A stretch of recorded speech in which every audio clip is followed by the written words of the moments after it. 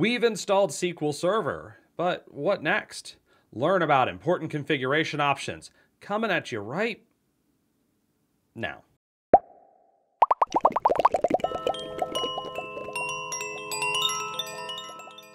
Welcome to this video on SQL Server. My name is Kevin Feasel. I am the proprietor of Catallaxy Services LLC, a consulting firm which specializes in work all across the data platform space, especially SQL Server.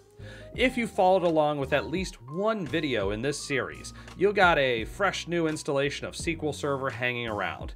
That's great and all, but there's a lot you can do to configure that server and make it more robust and perform better. We've got a lot to cover in the demo section, so let's get right to it. SQL Server configuration could easily stretch to a multi-hour video. This is clearly not that. What this is though, is me going through a SQL Server instance that I've just set up and talking a little bit about some of the configuration settings that I look at and maybe offer a little bit of advice along the way. To get started, I'm going to use a different tool than what we saw in some of the prior demos. This is SQL Server Management Studio. If you have not downloaded SQL Server Management Studio before, do a quick Google search, search for download SQL Server Management Studio, and you'll get the latest version, which as of the time of recording, 19.0.1. I can download this.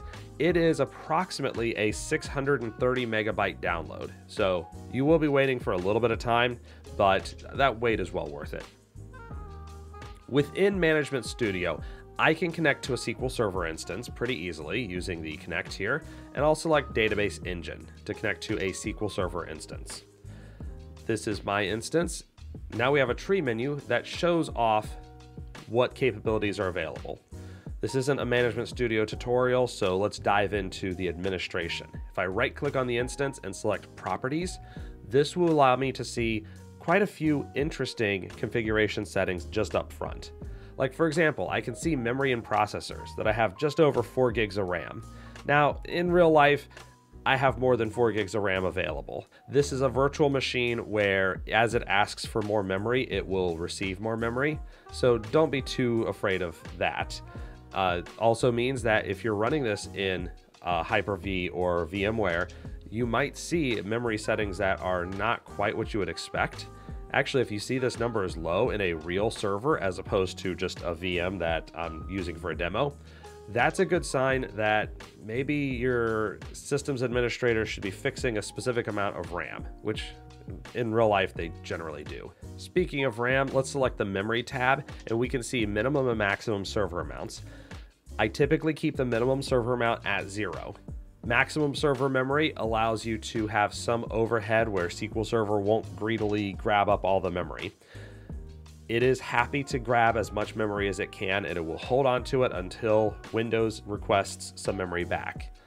This is a good thing because what this means is that more of your data is in memory, it doesn't have to read from disk. Memory reads are a lot faster than disk reads.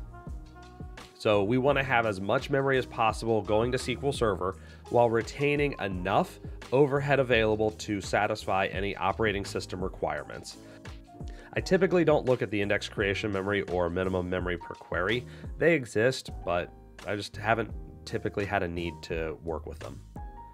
As far as processors go, I want to see this left alone for the most part processor affinity masking is something that you can do in extreme circumstances. And generally, if you have to do it, you know that you have to do it and you're qualified to do it because you've done it. It's a little paradoxical that way, but if you don't know what you're doing here, the best bet is don't mess with it. Down below that, we do have maximum worker threads, and I have seen occasions, especially when you have a whole lot of databases with database mirroring or availability groups, where that number of worker threads has to go up. Normally, I'll keep it at zero, let SQL Server handle the number of worker threads, but you may run into cases where you have worker thread starvation, where you need more worker threads than SQL Server thinks you need, and might have to bump that number up. In the security tab, I like to have SQL Server authentication on. We talked about this in a prior video this is a good way of giving me one other way to connect to a SQL Server instance in case everything goes bad. For login auditing, by default, it will only log failed logins. I actually prefer to have the both failed and successful logins enabled because this will help you catch a scenario like fail, fail, fail, fail, fail, fail, fail, succeed. And we want to know did this person who might be a malicious actor actually get in or did they just give up? When we get into options, there is common criteria compliance, which you might need to enable. C2 audit tracing has been completely obviated by common criteria compliance. C2 audit tracing is now obsolete. I would not recommend checking that box. If you are in a regulated industry and need to use common criteria, it is available for you. I would not check it just for the sake of checking it though. Cross database ownership chaining, don't check that thing. I'm going to put a link in for module signing. Module signing is the way to go when you need security rights across databases. Just ignore cross database ownership chaining. The next step is connections. I usually don't touch anything on this screen here. Database settings, default index fill factor is available to us, so I wouldn't touch it here. I would instead have individual indexes with their appropriate fill factors. Now I will definitely compress backups and set backup checksums. You're going to want those in almost every case. And also database default locations. If I see program files like I do here, typically I'm going to say this is probably not the best place to put these databases. Usually we're going to want data log and backup on different drives at least. Even if you're in the same SAN, it still makes sense to have ones that are going to be different because then if you run out of disk space on your backup server, it doesn't cause SQL Server to fail. The advanced tab also has some nice things. File stream typically is off, and most of the settings as we move through here, I don't usually touch. Now, blocked processes threshold, if you want to send a message every few seconds, if there's, say, five seconds of blocking, you can set that number above zero. Boost SQL Server priority sounds like a really good idea. It's a really bad idea. What this does is, in situations of extreme load, it means that SQL Server is going to get a higher share of attention from the processor, from memory. Uh, Windows is going to bias toward it which sounds like a good idea, except that when you're in an extreme scenario like this, doing so may actually make the machine unstable. Now, optimized for ad hoc workloads is an interesting quandary because for a long time, the answer was yeah, just go ahead and set it to true because it can help in some circumstances and it usually doesn't hurt. So, what's the big deal?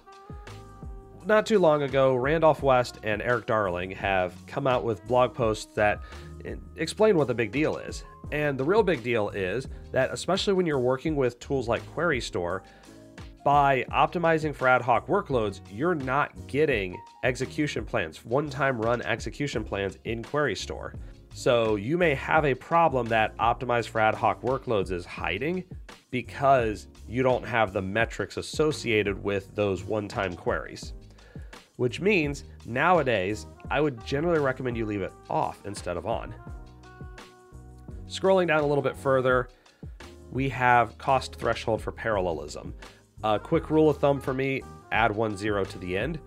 My experience here is that a number that is somewhere between, say, 25 and 100 is going to give you better performance in the long run for transactional systems than the default of 5. What this uh, basically is doing is saying that SQL Server estimates out how difficult a query will be to get data for. And based on that total cost, we'll say, is it even worth trying to make a parallel plan? And if you exceed this threshold, it will at least look to see could I do parallel processing for this particular query. Parallel processing has its advantages. You can finish potentially faster. However, it also has its costs. Parallel queries can perform in odd ways, especially if you have data that is skewed. We'll talk about that in some other day, I'm sure. Max degree of parallelism is another thing that we could potentially mess with. On a transactional system, I'm usually going to select somewhere between about two and six. On an analytical system, on a warehouse, it'll be at least one half of the cores available to the SQL Server instance. Finally, permissions. I don't spend a lot of time in SSMS on permissions here. You can scroll through it and see what these permissions are that are available, but typically I leave this alone and I'm going to grant permissions using T-SQL. That way I can save those scripts elsewhere if I need to rerun it later. So we've looked through our configuration, I've made a couple of small tweaks, but that's not all. We can also use sp_configure. sp_configure is a built-in stored procedure for SQL Server. Now we can see that I've got about 29 separate things that I can configure. We have current values, which are the run underscore value. We have what they're configured to be. We have a minimum and a maximum. And I can also specify show advanced options, which is currently a zero, and set that to one. By executing this command, I'm changing the value, which means I need to reconfigure. Once I reconfigure, what this essentially saying is, okay, SQL Server, reread those configuration settings, which on Windows are in the registry, on Linux are in a file. Because I am showing advanced options, we now went from 29 to uh, quite a few more, 95 separate config settings. I can then change any of these settings and make a modification. Like for example, let's say I want to turn on XP command shell. I can change that to one and then I'll go. And of course, I need to reconfigure so that SQL Server knows that you need to reread those configuration settings. If I highlight and run just this command to execute sp_configure with the configuration setting of XP command shell, instead of seeing all 95, I just see the one that I care about. Last thing I want to look at is individual databases. I don't have any special databases, so let's start with model because all new databases are built off of model. In files, I like to make sure that growth is set to a megabyte value. So here it's auto growing by 64 megabytes, which is good. For my machine, that's fine. I can also set it to percent, but don't set it to percent. Growth by percentage is a trap. If you have a one terabyte database and you're growing 10% auto growth, you're growing 100 gigabytes at one time. Any sort of command to grow 100 gigs in SQL Server will take some time. And what happens is your web application that's trying to just write one row, insert one row into a table, may cause that auto growth to hit. And now it's trying to grow 100 gigs.